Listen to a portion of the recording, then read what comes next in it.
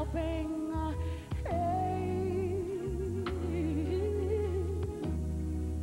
It wasn't long ago when I wasn't at peace with myself, and I had to reach back like the prodigal son.